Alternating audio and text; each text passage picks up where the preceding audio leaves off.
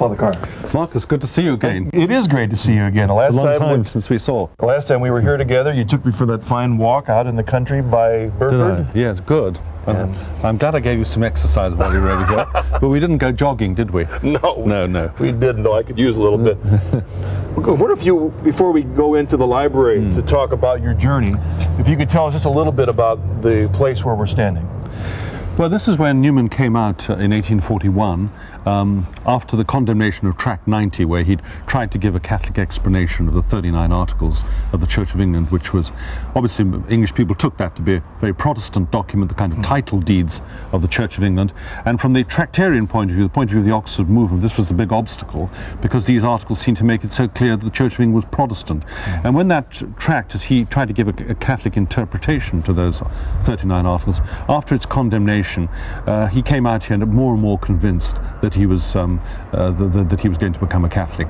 And so he came out here, and, and a group formed around him, and they came out here for to live a very ascetical and a, v- very prayerful, austere life out here in Littlemore, which was then a little village outside Oxford, is now, of course, more or less a suburb of Oxford. I was wondering, uh, for so many converts, they go through this stage where, because of what they've learned and studied and become convicted, they know they can no longer stay what they were, but yet because they've spent so much time anti-Catholic, they're not ready to go to the Catholic Church. So they end up in this this kind of a no man's land for a while. Is that kind of what he was going through at this period in his journey? Um, I mean, was he pretty sure he was going to become Catholic? Well, his dance, uh, the, the dance came first in 1839. Recently, a book has come out in the United States by a professor of history at Yale, uh, claiming that, that Newman um, that Newman didn't really want to become a Roman Catholic at all. Uh, this is, uh, and, that and that all this was uh, he, he he went over for other reasons, which perhaps wouldn't be relevant to go into now.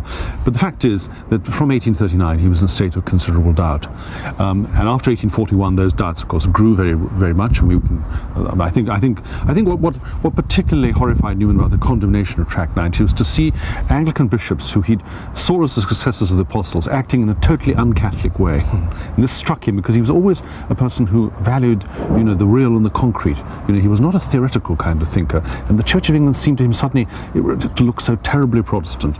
But of course, it took him time, as you say. Uh, It, he, he'd, he'd, he'd been, uh, after his evangelical conversion at the age of 15 in 1816, uh, he'd been given to believe that the Pope was the Antichrist. Well, that, that took time, of course, Yeah. gradually to get out of his system. Also, I think we have to remember that he was the leader of a, of a movement, and the leader of a movement can't afford just to, uh, just- He's got to be very, very sure before he decides to, to abandon the movement of which he is the leader and, and of whose theology he is the principal architect. Because at one, because the reason behind that whole Oxford movement was he believed that there was this via media that there, Yes. that it was the middle way between Protestantism and Catholicism, and he was completely convinced in that. Yes, it's, it's very much what a lot of Anglicans now will call, uh, although Newman didn't use the term, a reformed Catholicism. That's how you get the best of both worlds. you're, you're Catholic, but, but, you're, but you're free of the corruptions and errors of Rome. So you've, you've had some sort of reformation from the 16th century, but you remain Catholic. And it was his it was his study that led to the essay and development of doctrine that kind of hurdled that barrier between starting being convinced in the via media, but then doing the study and ending up the reality that Well- it wasn't a via deal. Well, of course, this, this is where, in fact, we're standing in the place, um, the room just across there, where he actually uh, wrote the essay. Is that the- right? Yes, and and and um, you, you can see the desk, in fact, on which he wrote the essay. Well, I pointed out to the audience Yes. in, in one of the earlier shots, the very, it's a Yeah. first edition of the essay Yes. that's there. So that's where he finished Well, writing that. This was he was going to really test his conviction. You see, as he says in his great philosophical classic, The Grammar of Assent, to be to be certain is to know that one knows, or to be sure that one is sure. And what he needed to do out here in Littlemore was he, uh, he, he was pretty sure. You could say he was pretty pretty well sure that he was in the Anglicans were in schism, the Roman Catholic Church was the uh, was, was the same church as the early primitive church that he so loved, the Church of the Fathers. But he had to be sure that he was sure, and he only did that. He was only got to that position when writing the essay on development of Christian doctrine, which he left unfinished because he, he became convinced, and so he simply stopped writing it. Was rather sad in a way. I wish he'd delayed a bit longer.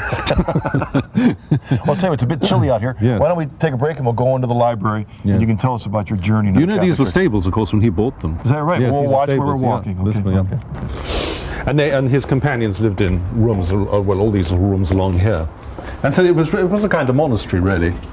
And when Dominic Barberi, the Passionist, Italian Passionist, who received him into the church, in 1845, when he came here, he was absolutely amazed by the um, asceticism of the place. He says much more austere than, the, than, a, than a Catholic monastery would Is be. Is this a place where people can come now for reflection? It is indeed. The, the, it's, now, the, the, it's now looked after by the Sisters of the Work, um, and uh, people do indeed come here for retreats and, and, and for, you know, Now, is the library that we're going into uh, in the c- condition that it was when, when Newman would have been here? well, it wouldn't be, in- it wouldn't be in exactly this condition, but this was used as the library, yes. All right. Well, thank you. Let's go in and you can tell us about your journey into the church.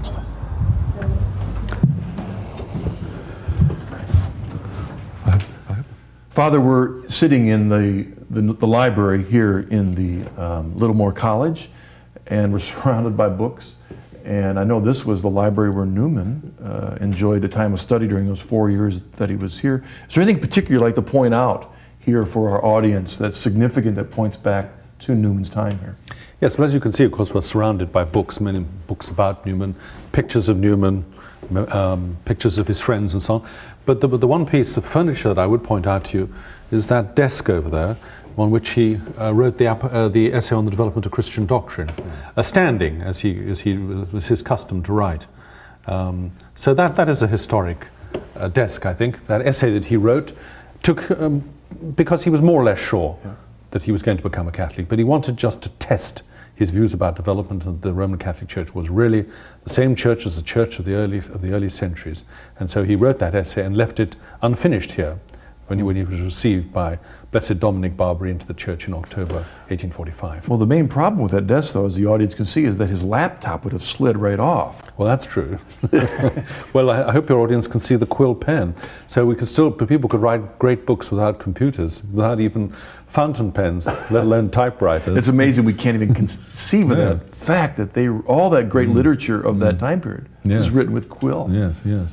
So I think the best, uh, in fact, uh, Well, he- characters of fiction were written with Well, quill. he did also use ink pens as well, but, Sure. but of course, ink pens you dipped into the ink. I don't think it would all been quill. No. Well, now that we're here, how about telling the audience? Give us, first of all, your spiritual background before your conversion to the church. Well, like Newman, I was brought up in a conventional Church of England back, background home. Um, we used to go to, as, as children, we were taken to, we were taken to church um, to, to conventional sort of matins. Yeah, It was non-Eucharistic. I mean, that was was unsacramental. Um, it wasn't liberal. I don't remember ever hearing anything that was undermining of Christianity. Um, it was unsacramental. It was undogmatic. It was mainly a question of going and singing hymns, and there'd be reading some scripture and, and, and the sermon, of course. Well, Newman was brought up in very much the same kind of way until, until he was converted to evangelicalism at the age of 15. That's something I never went through. Um, but I was sent to a conventional Anglican Church of England public school, as we call it. In American, that means private school. Um, where, where it was a similar kind of Anglicanism. It wasn't high Anglicanism, it wasn't evangelical uh, Anglicanism. It was a, very much the same kind of religion that I'd encountered in the local parish church. More of a culture than a faith. Yeah, I wouldn't think it was a faith. It was a kind of sentiment, I suppose, looking back on it. It was, um, um, and, so certainly, you know, I certainly would say that it, it left me with some spirituality in the sense that I, I was least interested in Christianity, and I mean, and I- but I stopped going to church when I, when I was, uh, well, when I left school, and I no longer had to go. And when I came up here to Oxford, I, um, I stopped going to church altogether. So, What was so- life like at Oxford? I mean, to us Americans, we just see this image that we've seen in movies and books, and this wonderful guys in gowns and punting on the Thames. Well, I was never any good at punting, um, but um, I don't think the Oxford of Brideshead Revisited had pretty well disappeared. Although there were still traces of it when I was when I was here at Oxford. All right. So, but while you were here, the, the, your faith was not an active part of your life in your study? Well, uh, in, it it must have been in my second year here. I was out in Florence actually, trying to learn on a course there and learning Italian and so on, and uh, and I had a, a conversion experience there.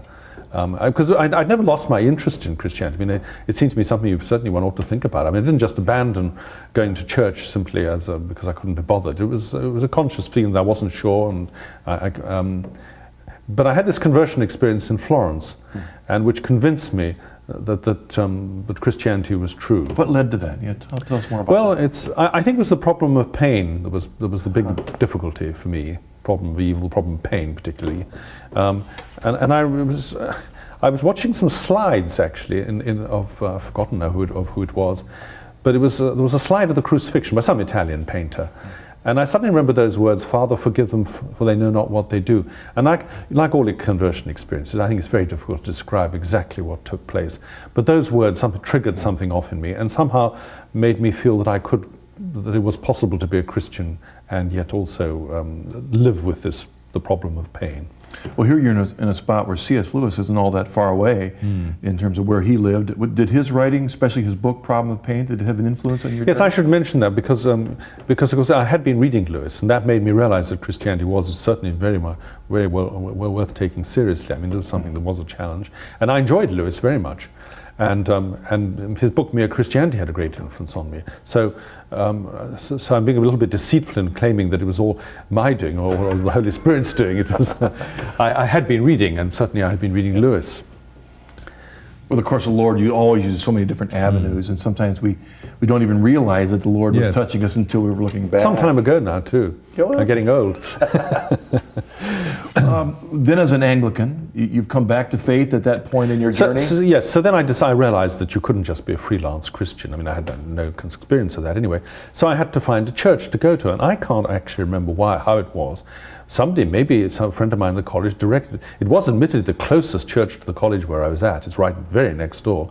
I went to this church, St. Mary Magdalene's, which was a very, very extreme Anglo-Catholic church in those days. Mm. And, um, and I fell under the spell, like many number of people, of the, of the vicar, Father John Hooper, who was a charismatic preacher and, and, who, and who opened up to me the Catholic faith. That is to say, I learnt about sacraments, I learnt about um, our Lady, Mary. I learned about the saints. Um, all this was completely new to me, you see, because I knew about the sacrament of baptism, of course, and I, and I had been confirmed and I'd received Holy Communion. But, but the whole of the Catholic the understanding of the real presence, and, and confession too, particularly confession, all that was a, simply a closed book to me.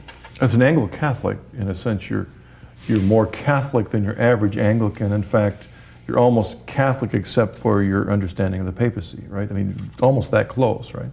Well, certainly the, the, the, the, the ritual at St. Mary Mag's, as it was called, um, was, was, was far, far higher more exotic than anything I think I've ever seen in the Catholic Church, practically. Even more so. And of course, all this was completely new to me. I'd never yeah. seen people wearing birettas. And, and, uh, and also, one realized, and of course, I suppose I realized very quickly that, well, I knew this wasn't the kind of Anglicanism I'd been brought up. So it had an exotic appeal to it. And I think yeah. it, it, it, was as if so that I was doing something rather illicit, because most, of this stuff wasn't really allowed for in the Church of England. Um, but when you say this, barring the papacy, I rather, I, I doubt probably that charismatic vicar, Father John Hooper, I'm, i think he did believe in the papacy. Oh, interesting. Because there are some Anglo-Catholics, I don't know if they still exist, who the only thing that keeps them away from Rome is the invalidity of Anglican orders, so they cannot accept their orders invalid. Okay. But there are these Anglicans called Anglo-Papalists who believe everything except Pope Leo XIII's bull on Anglican orders. paradoxical. So when you look back at your time mm. during that period, you're, before you're drawing to the Catholic Church, you're mm. Anglo-Catholic. Well, how did you understand the papacy personally? Uh, well, well, that was that was a big problem for me because I'd um, I, had been impressed by C.S. Lewis's argument he got from Origen that um, the, the, Jesus Christ is either the Son of God, he's either God or he's, you know, he, he's a bad man or a madman. I mean, that you, you, can't, you can't just see, the, the Jesus of the Gospels seemed to me obviously not somebody who just went around preaching a kind of morality or, you know, being, being meek and gentle. This was clearly a, a very, very formidable figure. And it seemed to me quite obvious, and he made claims that was obvious to me and his followers have made claims for him. So it seems to me that either you take the line that he is, as indeed Lewis argues, I think in mere Christianity, either he is God, aut Deus, aut homo non bonus, or he's a bad man. And it seemed to me the same was true of the papacy. I couldn't see how Anglo-Catholics could avoid the papacy. It seemed to me that either the Pope is the vicar of Christ, or he's the Antichrist, as people like Ian Paisley believe. Um, it didn't seem to me you couldn't take a kind of halfway position, and, and uh, it, that seemed to me totally unreal because the Pope made certain claims and his church made claims for him, and these had to be taken seriously. One could take the ultra Protestant line, certainly, and dismiss them. Uh, but uh, it seemed to me one, one, either, one either did that or one had to take them on board. So when you were brought into this uh, Anglo-Catholic phase, phase, of your journey, mm. you were put into a, an awkward position of understanding the papacy because you're, like you said, you were kind of doing a bit clandestine anyway with your yes. way of celebrating your faith. And uh, did the Anglo-Catholics see what they were doing as the via media of Newman's Oxford movement, or was it even more Catholic than that? Well, I think there was this, this branch of Anglo-Catholicism which uh, this, this church belonged to, the vicar belonged to, who I suppose we would call Anglo-Papalists. So they were they'd gone a good deal further than Newman in the Anglican Via Media had ever really gone. Okay. I mean, these were people who, who really copied Rome in everything. Um, but it seemed to me absurd to be in schism from the Pope, and it seemed to me that you had one, you know, as I said, the, the Pope either either is the vicar of Christ or he's uh, a, well a bad man or a, ho- a hopelessly deluded man. Very interesting. you have these group of folk that are about as Catholic as you can get, mm. and they've kind of picked and choosed those aspects mm. of hmm. Catholicism that are very, they're very comfortable with, that yeah. fits their comfortable background, but they won't go with the Pope and maybe a few other issues. Mm. Okay, it sounds very familiar even to what we do find at hmm. times in the Catholic Church of today. Hmm. But let's, what is it then that brought you and grabbed you and drew you through the Catholic Church? because it seemed to me many Anglo Catholics are very content staying exactly yes. where they are. Well, I said the papacy played a big role. It seemed to me, as I said, the papacy is something you just simply couldn't ignore. Um, but Anglo Catholicism itself was divided. I mean, well, the church I went to was a very extreme kind of church, uh, but there was more moderate Anglo Catholicism to be found. Know, and um, and of course, those people wouldn't have gone as far as that. So Anglo Catholics vary among themselves. I think some would would, would, certainly not, many of them would certainly not accept papal claims, the majority perhaps, or at least not papal claims to the full.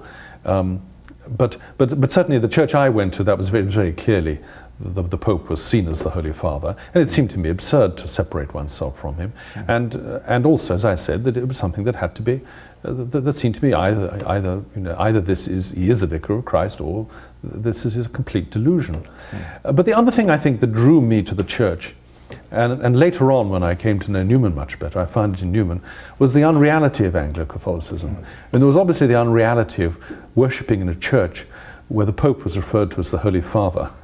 and where, and where all these, you know, where uh, there was a high mass and all the sacraments were administered and the, the fullness really of Catholic faith was taught. It seemed to me this was so an unreal situation to be in. And yet, and, and, yet, of course, you might go elsewhere in the country. Well, most you wouldn't find a church like that. You'd have to find it. So you were in a kind of a you were in a curious kind of sect almost. You had to find a church in the Church of England that that did this, you know, produced this, that, that preached and practiced this, this, this Catholicism. So there was an unreality about the whole thing, I think. And knowing, of course, that they weren't really what most people understood by the Church of England. Now that affected me very powerfully. I know it doesn't affect many people, but it did affect me. Well, um, when you made your decision to become Catholic and make that jump, what was the effect of that on your family and friends or your associates uh, that were with you when you were in that Anglo-Catholic faith? Well, I, well, I had Catholic friends in, in the university. Of course, that was another thing that struck me, because by this time in Oxford, um, Roman, Roman Catholics were a pretty large number of the st student body, whereas Anglo Catholics were a tiny fraction of the student body. Um, so, so, that in itself was um, struck me at the time. You know, that here was I claiming to belong to the English Catholic Church, and yet these these other Catholics, um, who were just as English as I as, as I was, um, and who were more, much more numerous, and belonged to this worldwide church. So I had Catholic friends. Yes, my family didn't like it. That's true. My mother didn't like it. No. I was going to say that if you have a boat parked by a dock, there's a lot more people in the boat and on the dock than those yes. with one leg in both. Yeah. And that's kind of where Anglo Catholics are. You know, yes. you kind of want to stay here, but I don't. Like I want a little bit of this, but yes. Yes. and it's a very awkward position to stay yeah. in for yeah. very long. Yeah. And it, and I remember my mother got very upset, and, and, my father simply said, "Well, it's all your fault, because she's a Knox, you see." And her, my grandfather's first cousin was Ronald Knox, and my father simply blamed. Is that right? Yes. So my father simply blamed it on her family. That, that was the end of the matter. Did Ronald Knox, in any of his writings, have an influence on you? No, no. I'd, I'd read no Knox at all at that time. I don't think. That's interesting. So, no. so that side of your family just kind of. Well, he was, of course, in the family. He was regarded as a bit, you know, uh, sort of beyond the pale. Oh, all right. Um, so no, I'd never read any Knox. I don't think. Oh, I might have read some of his essays, but but so, I hadn't read his Spiritual Aeneid. I don't think, right. which is his own autobiography. But I may be wrong about that.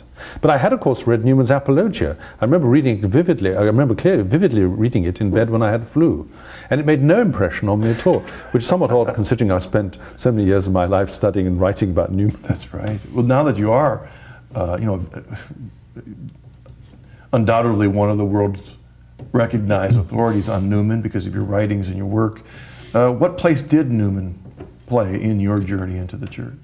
Well, I'm sorry to say that he really uh, played no role at all. Although afterwards, after I had become a Catholic, um, I found I, I, discovered something which which which made sense to me of why I'd found Mere Christianity, C.S. Lewis's Mere Christianity, such an unsatisfactory book, although such a powerful book and one that had affected me so much, as, as indeed has affected, well, thousands, hundreds, perhaps millions of people. Mm -hmm. um, I, I, was when I was rereading the Apologia, I think, and I, he quotes there from an article of his written in 1838. This is the year before he began to have serious doubts about the Anglican position, or the Via Media, the Tractarian position. And he says that, um, uh, quoting from this, this um, essay, he says that as, as early as late 1835, early 1836, he'd already understood what the real difference was between Anglicanism and Catholicism. And I was, so struck by this. And he said, for, he said the, the real problem is not the papacy or any of the doctrines of the Roman Catholic Church. The real difference between us Anglicans, and I think this applies to Protestants as well, the real difference is the, the, the relationship between the faith and the church. Hmm. And he says, for Roman Catholics, um, he said, I had two images. One was the Madonna and the child. That's the Catholic one. The church holding the faith. You can't separate the two. On the other hand, he, he said, I had a, the other model I had was of Calvary. The faith standing there by itself, as it were, unapproachable. And in the background, the church. And so, so, of course, this is what I realized. And, and then and he speaks about how he had himself believed in this idea of the fundamentals, which is C.S. Lewis's mere Christianity. Of course, the problem, as Newman recognized at the time, was how do you decide what these fundamentals are? Who decides the fundamentals? Newman realized that at the time. But what he, came, what he already saw as early as that was that the, the real problem wasn't about doctrines in particular. It was about the question of the, nature, of the relationship between the faith and the church. And for Anglicans and Protestants, the faith comes first and the church comes second. So in mere Christianity, you go into the hall of the house, which is mere Christianity. These are the fundamentals of the faith. And you then choose a room, you choose a church to enter. It's in, in our country, at least, when the encyclical Dominus, the letter Dominus Iesus mm. was released, mm. it wasn't received well by all because it seemed to be pushing the church too much and then to others pushing Jesus too much. But in that document, we see both lifted up mm. as essentially important. Just yes. what you're saying. Yes. The church and Jesus. How was that received well here in England, or was was that seen as a so non as a, non ecumenical statement? Um, oh, well, I think there was considerable dismay among Anglicans, and of course some Catholics um, thought that it was very unecumenical. Um, because saying just what you've said mm. is that the church is in the bosom of the church. The faith, the, is, faith in is in the bosom of the church. Well, to me, this is this is the fundamental ecumenical question, which is which is avoided so much of the time, because it, the fact is, we Catholics don't accept Lewis's model. uh, we don't accept that there's a hallway, and then out of the, off that hallway there are various rooms. It's true, Lewis says you, you choose the door you think is the true one, not the door that looks the nicest um, which of course raises questions. How do you decide this is the true one? But, but leaving that aside, no, for us, the, the, there's not a hallway with different rooms. There's not a hallway of the faith and then rooms representing different churches, different churches. No, it is the household of faith. It, it is the, the, for us, the church is this house. It is the household of the faith. And yes, we understand the Orthodox, if you like, are, are an annex to this house because we recognize that they have the same, you know, to such a large extent, have the same faith as us, the same sacraments and so on. And the other Christian bodies are more or less attached to this house. But the, the, the, the house itself is the household of the faith. Newman makes this powerful statement in the beginning of the essay to become deep in history is to cease to mm. be Protestant. And my guess is that a part of your conversion from the nominal Anglicanism of your childhood mm. to the Anglo Catholic mm. period mm. to becoming Catholic was a conversion in your understanding of the history of this country you live in. Do you remember going mm. through a, a re kind of a re-education of yourself and understanding the history of England? Well, I'm, I do not think I really did at that point. No, of course, it's only later that I've reflected okay. more on that. Although, of course, uh, it's true. Yes, one was aware that the uh, all English people dimly are aware that the parish churches and cathedrals of this country were built by Catholics, and, and there's, there's, there's no getting around it. So, I, I, mean, I think the English have, I think it's a very different experience from America, which, of course, was originally a, a Puritan country anyway, right, the right. first settlers. So, I think our experience is very different. We're, we're people who, as it were, all around us here in Oxford, there's All Souls College. Mm-hmm. which was set up for praying, uh, which was endowed with masses to be said for the holy souls. There's Corpus Christi College. So it's all around us, this Catholicism. And so you, you, I think one, one just recognizes it, yes. But it seems that there was kind of an official history that was taught. Yes. That you almost had to believe and to teach yourself to say, stay safely, at least in Elizabethan times, mm. into, the, into the good uh, in good with the Queen. Was that what you were taught growing up? Yes, I, you're quite right. Of course, it came from history, not from what I was taught about religion. But, uh, but I was taught, we were taught in school, there was somebody called Good Queen Bess, and there was another queen called Bloody Mary. and I remember the, the, play, the, the, suburb of London where I grew up, and, these, um, and, and there quite a lot, it happened to be a rather large Roman Catholic settlement there. There's some two big Catholic schools and a big, a very big Jesuit church. And I remember thinking that, that these were odd people I still remember as a little boy getting on the bus to go to school and seeing these girls from the local convent school and thinking, that uniform is funny because they're Roman Catholics, aren't they? There's something funny about them. So yes, one grew up with that, and that one got, I think, from history. But of course, later when I became an Anglo-Catholic, as well, that very breed only lasted two or three years at most. Um, then, of course, I had a very different view. Then I had to pretend that, then I had to say, this, this, this Church of England is really the same church that existed through the centuries in England, which is the Anglo-Catholic claim. But that seemed to me unreal and absurd. So yes, history did come into it. That was a part of the unreality of it.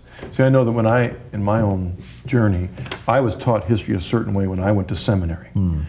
And it was actually Hilaire Belloc's book, How the Reformation Happened, and other books mm. like that, that awakened within me this whole other side of history of England, particularly, mm. that I'd never seen before. Yes. And it was amazing to me that, that Englishmen could grow up in the midst of this only seeing the one side and not seeing the other. Mm. But I'm wondering, are you saying that they realize the other side and it's kind of always kind of hidden? Well, I think this is a sort of subconscious, you know, that they're okay. un uneasily aware, that, you know, that they know these churches somehow were, were they, they, the, the, the, Catholic symbols all around, even, even in London, you Blackfriars, Blackfriars tube station, yeah. where, where the Blackfriars were. Um, it's almost impossible to escape from it.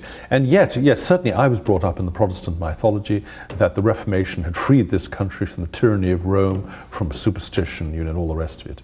And that and that that was linked to the destiny and greatness of England. You know, that was why we'd got the British Empire was because the, the English were somehow different. You know, we were different from the, from, from yes, and that Catholics were somehow.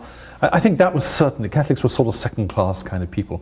I, I, I, perhaps I'm exaggerating that. Certainly in the 19th century, as you probably know, there was a great deal of that kind of racialism around. That the, the, the, the Catholic races, the, the Celts and the Latins, were inferior, and the top race was the Anglo-Saxon race the Germans and the English, the German Protestants, Prussians and the English. Uh, um, an illusion, of course, which was shattered by the First World War. Hmm. And then, of course, well, by the Second World War.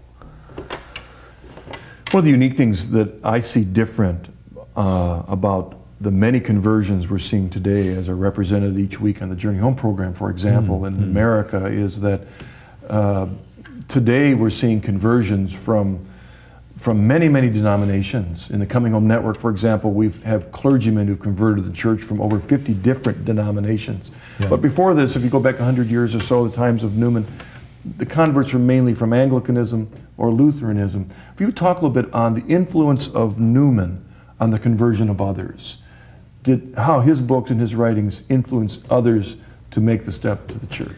Yes, I mean, we're certainly seeing in this country now conversions from evangelicalism, but that would have been very rare in the past. They would only, not from Lutheranism, of course, there aren't any Lutherans in England, okay. but, um, but, but it normally would have been, of course, from the high Anglican um, section of the Church of England. Oh, Newman's influence has been uh, inestimable, I think, his influence on, uh, on converts and the number of people he's brought into the church. And, you know, uh, he's, he's deeply influenced quite, all, you know, people whose, whose names aren't known. Yeah. But if you look at the, the great English converts, writers, you, uh, G.K. Chesterton's so aware of Newman. Gerard Manley Hopkins, um, the great poet, became a Jesuit, received into the church by Newman, taught at the oratory school in, in Birmingham, founded by Newman. Um, and it's, it's, interesting, uh, I think about six years before he received Hopkins into the church, he wrote an essay called English Catholic Literature, which now forms part of the idea of university. It's one of the, he did when he wrote this when he was president of the Catholic University of Ireland, and he said, well, of course, our literature, speaking about post-medieval literature, is, is, completely Protestant, almost completely Protestant, except Shakespeare shows signs of Catholicism. And um, there was no hope of us ever producing a, a, a, Catholic literature in this country because the great age of literature has passed. This is right at the very time when, when, when Dickens is at the height of his powers, and the time of George Eliot and, and Trollope and um, Tennyson, or Matthew Arnold, you know, I was talking about one of the, the, the two great periods of English literature. And, and, and he himself, six years later, was going to receive one of the major English poets into the church, who was going to become one of the major English poets, Gerard Manley Hopkins. And if you go forward a bit in time, to you think about somebody like Graham Greene, fascinated by Newman's theology, hmm. passionate reader of Newman. Uh, Evelyn Waugh, echoes of Newman and Brideshead Revisited in his Sword of Honour trilogy, very much aware of Newman. So I, I, think Newman's influence is not just, it, it, it, he's deeply affected many, many people and has led to many, many, many conversions. How is he viewed as a convert to the church by the, the lifelong Catholics of his day? Was he well received? Uh, yes, he got much more sympathy from the, the old Catholics, as they were then called, the old Catholics being those who had survived the penal times, persecution. Mm. Um, he was very well received by them. Uh, most of the, op the, opposition he encountered in the church after he became a Catholic was, sadly, uh, from, uh, from his fellow converts. Oh, interesting. People like Cardinal Manning, okay. who, of course, had come from a very similar background from Newman, but, but who had adopted this extreme ultramontanism, uh, which Newman thought was ahistorical for a start. Coming back to your point what is ultramontanism? Our, our, audience may not be familiar with that term. Well, ultramontanism began in France in the, in the early 19th century, and it was, a, first of all, it means literally beyond the mountains, ultramontes, and it meant that you it meant appealing to Rome against the against state control of the church so ultramontane and the, and the original French ultramontane thinkers certainly weren't ultramontane at all in the later sense of the word. What it came to mean, though, was very, very rigid control of the local church by Rome. And so, so ultramontanism became this very uh, extremely conservative movement that wanted to, to define a definition of papal infallibility which, which went far beyond um, what Vatican I actually defined, okay. and which I think would, would horrify many people today. But was it a, oh, interesting, interesting was it a leaning towards Rome versus the local bishops? Well, I, I, I, Newman always said that he was an ultramontane in the original sense. He had no time for this idea of a local church against Rome, which I know is quite strong in the United States. He had no time for that at all. But what he was against was this extreme ultramontanism, which, which, which really exalted the papacy in a way that was quite unhistorical and contrary to the tradition. When you think that the L'Univers, the French Ultramontane newspaper, actually substituted in a hymn the word pius for Deus, actually put the oh. Pope's name in the hymn instead of the name of God. This gives one some idea of the lengths to which they went. And this, this, this shocked Newman as being contra. But, but he fully accepted the definition of papal infallibility, you know, in, in the form in which he was. But what he was afraid of was these ultramontanes were pushing for a, a definition which would say every time the Pope opened his mouth, he was speaking infallibly. One thing in, in America, it seems like often people misuse Newman and his views, especially of, of ecumenism, mm. or even his what he was called a liberal, and misusing his understanding of liberalism. And Newman was often called liberal. Maybe you ought to define Newman's liberal views to our modern audience so they make a better perspective on what we mean by Newman as a liberal. Yes, well, I have in a way already, already implied this because uh, Newman always said, I, am an ultramontane in, in, the, in the true original okay. sense of the word. That's to say that I don't believe that, that the local and local, uh, he said, I had enough of that in the Church of England. I don't want local national churches. You know, he would have been horrified by the idea of an American church. All that he was against, he was liberal in the sense that he was against this extreme ultramontanism. You know, and we're talking now about a year which is, which is a, year of the, of the, of the um, syllabus of errors. Uh, and a church which, which proclaimed that democracy uh, was, was, was, was, was against the faith. We're talking about there was no, when religious, religious freedom, of course, was a concept that was, uh, co was completely, it was anathema to the church authorities. So we're talking about a very different time from our own. I have no doubt myself that today Newman would be fully on the side of Pope John Paul II. Uh, he'd be completely against this idea of local, of the local church, as it were, of a, of a collegiality that sets the bishops against the Pope, which is, I think, what some people mean by collegiality. Today. We also see this movement of the laity against the bishops, the laity, the laity And uh, of course, he wrote on what's the name of his book, Consenting on Laity? consulting the. F- no, well, exactly. You put it marvelously there. You see, because that's not the title of the book. And I, I, I'm, I'm so pleased when people make that mistake. Because on consulting the faithful in matters of doctrine, and as I, and I've written an essay on this, pointing out that in that essay, uh, he, he's not. Well, he's talking about how the Orthodox faith was upheld against the Arian heretics, and by many, a large amount, and, by, and uh, was upheld by the faithful. And if you look at the faithful, it includes, yes, laity, it includes monks, holy virgins, we call nuns, religious, and presbyters, priests. Um, what Newman was saying in that, it was is an anti-episcopal document, if anything, because he's pointing out that the body of the episcopate failed to do their job at that time, uphold the Orthodox faith. But that, that, that essay has been deeply misunderstood, I think, because it's not just the laity he's talking about there, he's talking about the faithful, and he includes the clergy with them. All right, well, thank you. We're going to take a break, Father. Back just a moment with some more discussion with Father Ian Ker and maybe some more uh, insight into the life and teaching of John Henry Cardinal Newman.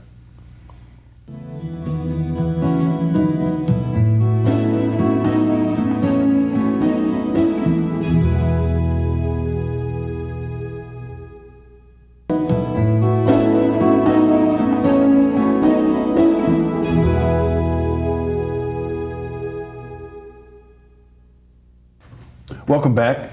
We're here in Littlemore with Father Ian Ker, and he's shared with us uh, aspects of his journey of faith and also talking about uh, so much about Newman, which has become such a big part of your life. And let's go back to something you talked about earlier. If you would talk more about, on the one hand, the necessity of the church and our faith, but also its, its relationship to ecumenism, if you would. Well, I think this is, this is the major problem for ecumenism, but because we ca- Catholics don't see the church as separate from the faith, it is that, use that image of Newman, the Madonna and the child. Um, ultimately, as, as Newman said in, in a letter uh, to, to, to Pusey, one of the other leaders of the Tractarian movement, many years later, and Pusey is, uh, uh, ecumenism is now in the air. People are beginning to talk about reunion. In, in, in the 1860s. And Pusey writes to Newman and says, Well, tell us what doctrines we have to accept. and Newman writes back to say, No, I, I, I, can't give you a list of them, he said. What you have to accept is the church. When you become a Catholic, you're not just accepting a list of propositions, because it might be a new definition tomorrow. what you're accepting is the Catholic Church, that this is the body of Christ, and you're accepting that, that this is the church which is headed by the apostles and the senior apostle, the successor of Peter. And, and, and, you cannot, in that sense, detach the faith from the church. You can't say, I'm, I'm going to become a Catholic because I accept Catholicism. You must accept the church, not Catholicism. Our time is so different than Newman's in so many ways. Uh, I was speaking recently with uh, an associate of mine, Jim Anderson, and we were talking about how things had changed so much. And one major difference was during the time of Newman, an individual's life over their lifespan changed more than the culture. I mean, they could be born and die, and yet the culture would change very little. Whereas now we live that in our lifetime, our culture has changed so many different ways, so fast, mm. it's hard to keep up with. And it, it's, for example, in being a Catholic, uh, the church has changed so much not mm. the church per se, no. but so many aspects of it in our life. The outward, the outward things, yeah. Compared to the time of Newman. Yes. So often I have to tell people being a faithful Catholic means being faithful to the Catholic Church right now. It doesn't matter what certain things that could, you know, can change were yeah. taught 50 years ago mm. or what might be taught 50 years from now. Mm. We are to be faithful now. Whereas in Newman's time, but there weren't that many changes in his lifetime. Is that true?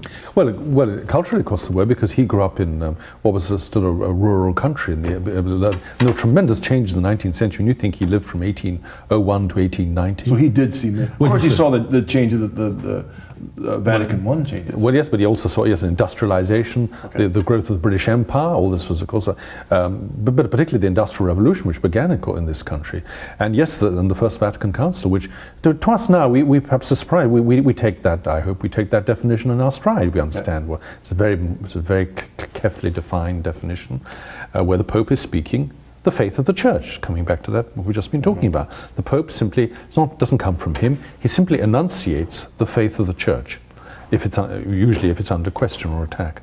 Um, so, so there were a lot of changes, but as you say, of course, we have, and many of your viewers will remember the pre-Vatican II church. Now, it's a very striking sentence, Newman, to, if I may um, play a, play a card against you to be deep in history is to cease sure. to be a Protestant. And that is where he says, obsolete customs become present heresies. Hmm. And, and, and I think that's true where, where you take something from the past in the church uh, for instance, the Tridentine Mass can be used, I think, as, as, a, as, a, as a symbol of, of, separation from, from the Church of Pope John Paul II. Of course, the legitimately celebrated Tridentine right. Mass is fine. But certain things can be uh, clung on to in the past, which, which actually make one un-Catholic, really. One's no longer with the Church. Mm, that's right. The, as we were sitting here um, around these books, something, again, talk about these changes and how things are different today than then. Mm. Um, I mean, here our lives are run by emails today and phone calls and how quick you know we hmm. change mm. and can communicate flippantly one to another. But in those days, there was a whole different world in terms of how I communicated. And what impressed me as I was sitting here is that here are two entire shelves of volumes of collections of the letters and diaries mm. of John Henry Newman. I mean, that was so much a part of his life. And as you, as a scholar, talked about how important his letters and diaries are to us understanding him as a man and as a man of faith. Yes, well, actually, Newman benefited from a change in technology in his own time because of the penny post, which began in this country. Hence, I suppose, why our postage stamps still, don't bear the name of the country, because we were the first stamps. uh, like your emails are the first thing. You never have USA, do you, in your emails? Um, so the, the technology, the, the fact that post could be delivered so quickly, and in Victorian times is better than it is today in this country. You get the letter next day. I mean, there'd be several deliveries, or even possibly in the same day. Um, so, so that that that that enabled letter writing really to flourish. Mm. And as you say, there was no phone, no telephone, and certainly weren't any emails. So the kind of things that people would now put in telephone calls or more recently emails would, would have been put into in the form of letters and notes mm. in those days. So we do have this wonderful um, uh, record of Newman's life. In, in, in it amazing saved them all. Well, they're not all.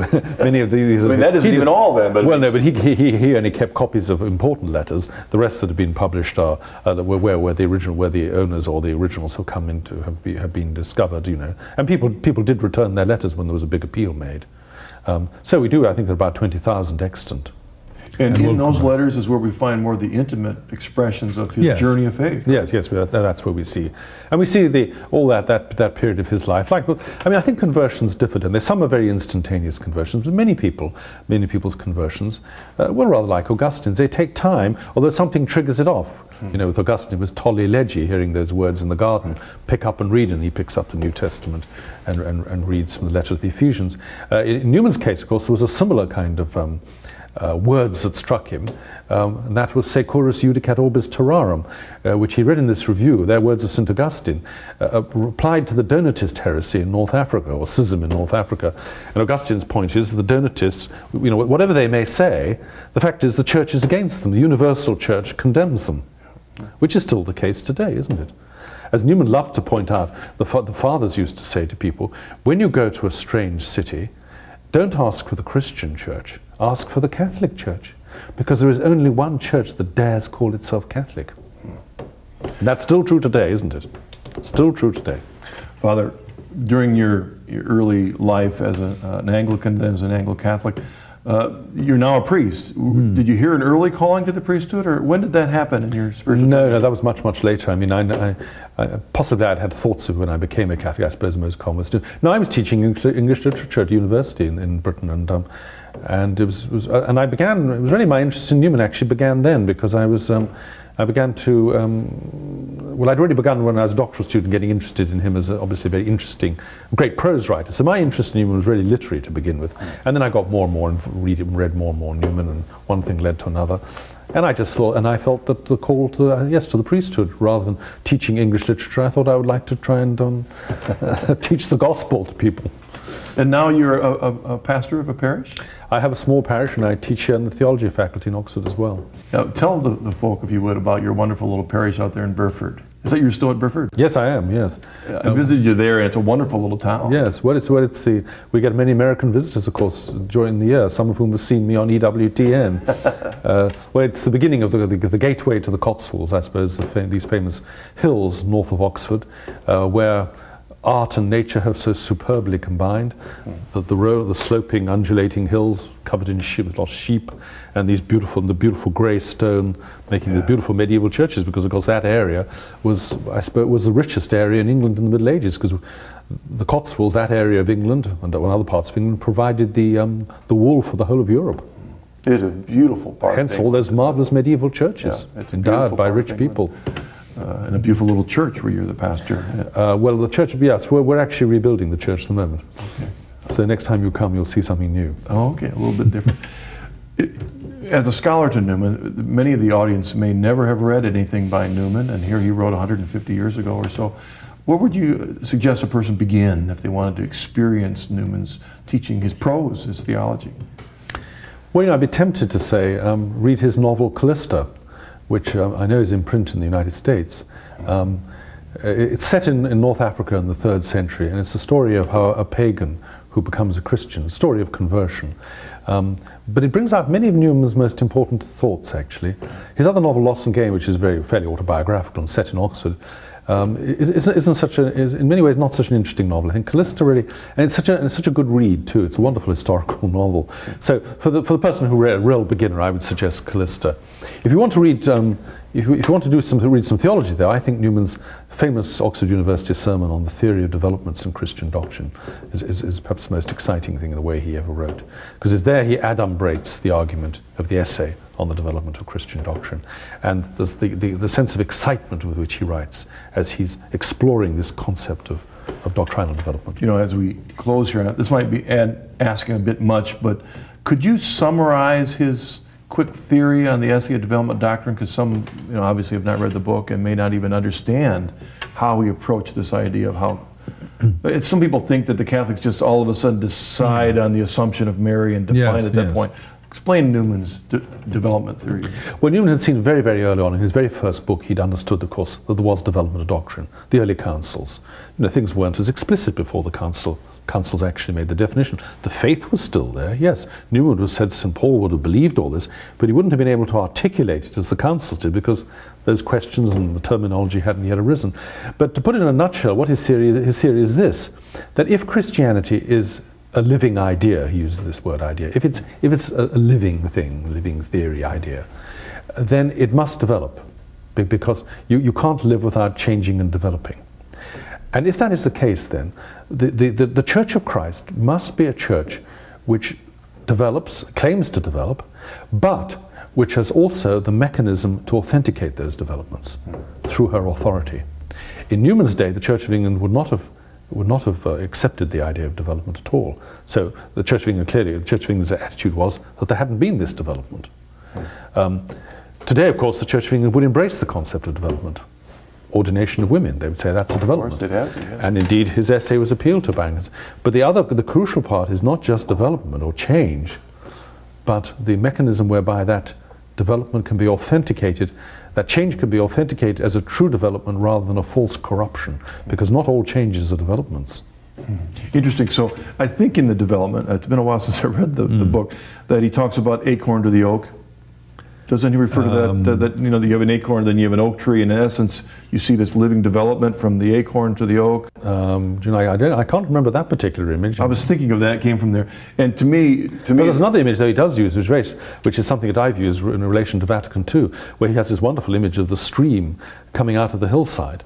And he says that people think that as the water moves, as it comes out, it's all pure, that, you know, that's, that's where you, I mean, paraphrasing now, I mean, that's where you drink it. As, as the stream goes on, it will get dirtied and muddied, you know, sheep will fall into it and all the rest of it.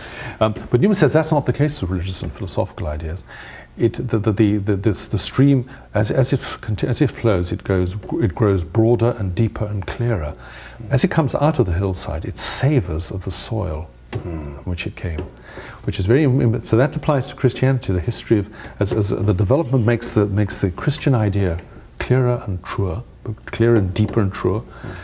It also applies incidentally to the Second Vatican Council because I believe that council, the real meaning of it is going to become clearer as the years go by, and those people who participate in it are not necessarily the people who are most likely to understand it. uh, uh, this image of the also the acorn oak. I was going to also say Yeah, that sorry, I I like it remember that. because it seems that our, our Protestant brothers and sisters always want to go back to the acorn. you know, let's get back to the acorn, the real true church. Well, then you completely throw away all the maturity that was there as a result of that. Yes. But then, then the other thing I was going to say is that what you're saying was they start throwing women's ordination, other issues. yeah. It's like you've got to start with an acorn, but you end up with a birch tree. Well, you might exactly, but of course it, it comes back to your business, your, your, your quotation: to cease uh, to be deep in history is to cease to be a Protestant. But because where do you find this acorn? where is it? Because there's development already in the Gospels, isn't there? St John's Gospel is very different from St Mark's Gospel. So where do you draw the line? There is the, it's very hard to say where is this primitive Christianity where there is no development. I don't know where you'd, how, how you would do that. Father, uh, really appreciate your time with us, sharing so much. I wondered as we close, could you give our audience a blessing? Yes, by all means. May Almighty God bless you, the Father, the Son, and the Holy Spirit. Thank you, Father, for joining us. Thank Very- you for your very good to be ministry and also for your witness. Well, thank you for EWTN, which is Oh, such a blessing to us all. Well, thank you. And uh, you've helped so many of us understand Newman in a much deeper That's way. kind It's been a great gift to the church and, and to all of our faith. Thank you. And thank you for joining us on this special edition of The Journey Home. I hope you'll join us on the other programs that we're taping here in England to hear the uh, conversion stories of men and women here in this country whose authors and the witness of the faith has influenced so much of us. So again, God bless, and I'll see you again soon.